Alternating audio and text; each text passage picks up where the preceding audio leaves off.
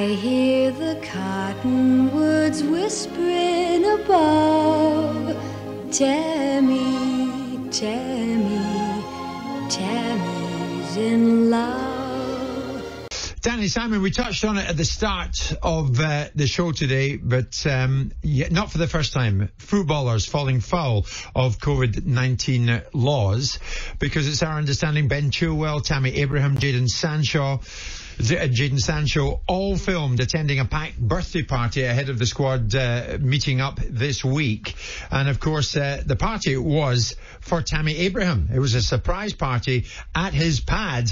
He didn't ask for it, but uh, they did it for him. Uh, some friends threw it for him. About 20 people, it's believed, were there, friends and family. And now, of course, in the light of what happened with Greenwood and Foden, begs the question, will the same happen to them? If not, why not? Simon, well, before I go to mm. Danny, in you come then. Let's, let's go to you first, mate. What is your belief on this? If it is the case, and it certainly seems to be the case because this is now being widely reported and it's out there on social media, there they are enjoying the party with 20 friends and family, flouting straight COVID-19 laws. Should the same happen to them? As happened to Foden and Greenwood. You're right yeah, until you're back re- in. Yeah, they're different reasons. I mean, Simon gave the detail before on the difference of the situations, which I agree with. But with with this, for me, you're looking at um, a very black and white situation. Is that those three players are now putting the other players who go on international duty and staff at risk. So therefore, you have to take away that risk if you're the manager of England. And, and the other question I would ask is that if you're Jurgen Klopp or Pep Guardiola or whoever it may be, and your players are going away into that environment, are they? Are you not are they not at, at risk, more risk, uh, if those three lads are, are, involved in the squad because of the incubation period and not isolating once yeah. being around 20 people in a social gathering? Yeah. Is is this going to, if, if Gareth, one, is it, firstly, is he allowed to let that happen? To let them into the squad? And if he is, will that open a can of worms in other, man- other, co- other managers and, and maybe even owners, Simon, saying, uh, hold on, why, why would we going to put our players in, in a greater risk? Although it's a small risk, it's still a greater risk, isn't it? Well, I suppose the solution to it, the ridiculous solution, is to test all 20 people at that party and get them all negative and kill the argument there. But that shouldn't have to happen because this, this, conversation shouldn't actually have to happen in the first place because it's a simple instruction. We all know where we stand. I do not want to be sat in a bloody flat for the next two weeks, but circumstances dictate that I have to. Mm. And I'm not trying to make myself into a martyr. But with the due respect to these players, they know what's. We, we, shouldn't be having this conversation. We shouldn't need to have this conversation. This conversation's been had on numerous occasions. For the love of God, did they not read what's just happened to the two players that sent home from Iceland? I know, again, those were extremes that we top. We, we spoke about at the top of the show, Dan about how they're on England duty. Yeah. That's why there's a compare and contrast that has a slight difference attached to it. But it should extend. They've been called up. So technically, they're on England duty or they're on notice of being on England duty. So by definition, and even if they're not on England duty, they know the rules. Yeah. I don't understand it. Why do we keep have to have this conversation? These boys well, will, will, will say that they are not role models. But then they'll take advertising contracts with clothing manufacturers and use their influence to be able to make themselves marketable. And on the other hand, ignore the responsibilities they've got. Would you find you know, it excessive, Simon, or pedantic of any of the managers or owners of clubs with players going to England to, to say they're not coming if they go? I would see depends upon the game. It might be opportunistic. Um, you, know, yeah. you know what I mean? And poor old Leyton Orient volunteered themselves for a set of tests, and that wasn't because Spurs were being magnanimous. It's because Spurs wanted to protect their own players. People you know, couched that game in the Car- Carabao Cup as Spurs paying for Leyton Orient. Believe me, that was Spurs paying for Leyton Orient because their players well, are worth 500 million quid. It, tra- it transpires, Simon, that this was a gathering that kind of uh, gave a nod to COVID-19 because a source close to Abraham is saying the party was a surprise to him, that we know. But the source says it was a family and close friends only, and they even did temperature checks on arrival. Yeah, but that means Jim, you can still have it though. So, Jim, I mean, Jim, that's, that's, people. That's that's filling in the backstory, right? That's now being hoisted by it. That's someone. That's, that's like two players being sent back from Iceland and people drafting your press release, making sure that everybody understands that every angle is closed off to the media. We're very apologetic. We regret it. It won't happen again. Yeah. This is now an infill. This is bang. Hang on. The rule is six not six, not 20 with temperatures tested, not 20 with uh, certain set conditions.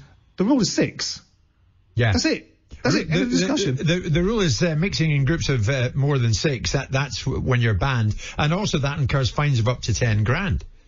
So I, I don't mean, think they're worried about the ten grand, and we're not we're not we're not debating here the politics around the rule or whether it's right, nonsensical or not. The fact is, the rule is in place.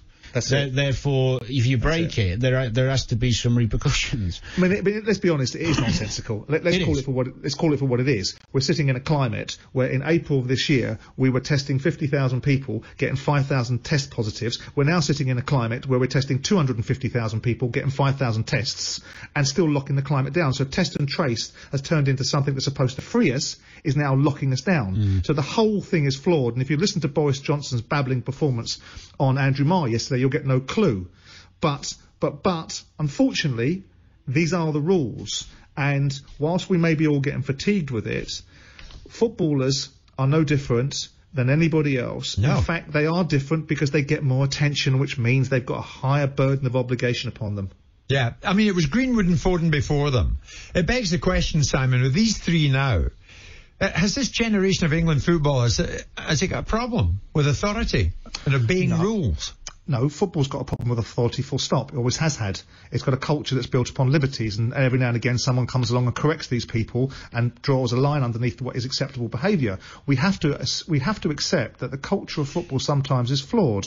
When you've got young boys with agents at 15 years of age wiping their backsides up for them, telling them that they're wonderful and you've got grown men when they're 17 years of age making their first team debut singing their name, you are part, in part responsible for putting these people in positions where they think sometimes the rules don't apply to them. There was also a flip side to this.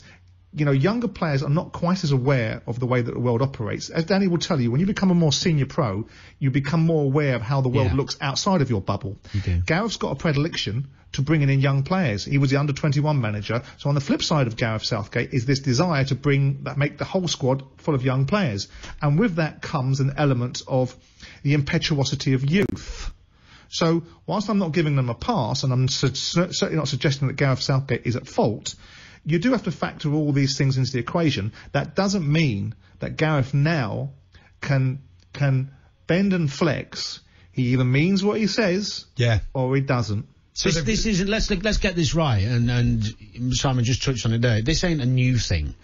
I was a young footballer who gained wealth and fame and thought I was Billy Bigspuds. I mean, it, it, you don't think the rules apply to you till you break them and you get your butt kicked and you get hammered by the manager or left out of the team and fined. You know, you you. I've said this on many shows. You have to make your own mistakes because footballers don't look at other footballers and think that'll happen to me. Oh, I The know, bubble- but, the bubble but Danny, the how bubble- often, you know, uh, mistakes, easy, sure, you're but you learn when- from them. Yeah, of course You've you got have to learn from Of them. course, and that's the key in life, isn't it? But when you're 21, 23, and you're England player, and you're earning a fortune, you're Premier League player, and you're wealth, wealthy and famous, you don't you don't automatically then become a well-behaved, mature human and that being. is why, and that is why you've got to make these consequences stick. So when I listen to the rambling drivel that Trevor Sinclair sometimes comes out with about the notion that Mason Greenwood and Phil Foden have been consequenced enough, right? And oh, it's wrong, mental well-being coming into play. No. Lack of discipline, lack of respect for your environment means a consequence. But if you uh, make a consequence stick, then it will, cons- it will it will act as a deterrent to other people as well. Well, and that's Danny, how you, build emotional played, but an- resilience. an- Answer me this. Very though. good, Danny, What that's is right. wrong with these guys? Abraham didn't know the party was getting thrown. Chilwell and Sancho obviously did. There they are, twenty odd people in this in this in this building in this property. But surely they look at it and think immediately Greenwood and Foden. No, well, it's, look, it's very hard in the moment to, to, do the right thing, isn't it? In the moment. So what? What? what Is what, it? What's well, difficult yeah, about that's, it not, that's not a moment, Dan. That was That's a pre-planned party. Yeah, but if he didn't know and he's walked Simon in, did is he the gonna right say thing by calling me on Friday and saying, "Look, Yeah, he did. My mate's I'm positive, it, negative, but you- but I'm out of action for ten days." Well, it's it's quick. Well, I don't know what's what's the word. Quixotic to think that those players are going to walk into a party environment and then say, "Listen, everybody, please go home. It's the wrong thing to do." Why? Because I don't think they thought their family and friends are going to be selling. because they're lemmings as well, because they follow the example of others. That's why they're all covered head to foot in tattoos. There's nothing, there's nothing individual about them. But Danny's also right. It's very difficult. I guarantee you, if we all put ourselves in a position every now and again, that somehow you'd follow the herd. But those, it's then important to remember, it's a key component of young players who you put around you and who understands the ramifications of the world that you live in.